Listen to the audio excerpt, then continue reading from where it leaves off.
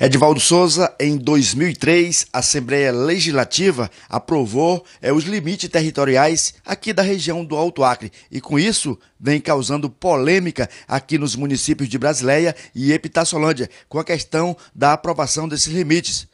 Uma hora a situação aqui dos ramais pertence ao município de Brasileia, outra hora pertence ao município de Epitaçolândia. E com isso, os produtores rurais é que estão realmente enfrentando esses problemas. Eles foram ontem na Câmara Municipal de Epitaçolândia exatamente para tentar resolver a situação, já que eles estão necessitando dessa ajuda de melhoria de ramais. Só para você ter uma ideia, o carro que transporta os alunos realmente não está passando, está atolando. E nós temos um vídeo enviado exatamente pelos agricultores ali do ramal é, do Baixa Verde, onde eles estão passando por essa situação. O Raimundo Nonato, agricultor, que procurou nossa equipe de reportagem, fala em relação como é que está o ramal. Raimundo, explica para a gente a situação de vocês lá.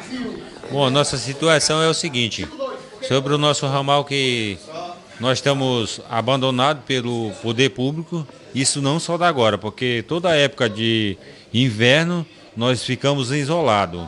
Inclusive o problema do transporte dos alunos. O caminhão já não pode mais passar. É, os alunos no dia que, que vem chega atrasado porque tem mais buraco nesse ramal que talba de pirulito. A gente faz a reivindicação aqui no município de Brasileia o que eles falam pra gente. Vocês são de Epitaciolândia. A gente vai em Epitaciolândia e diz assim: vocês votam em Brasília e nós ficamos que nem uns cachorros abandonados lá dentro e perdidos. Até porque que ninguém dá uma assistência para nós. Até porque que também tem um detalhe.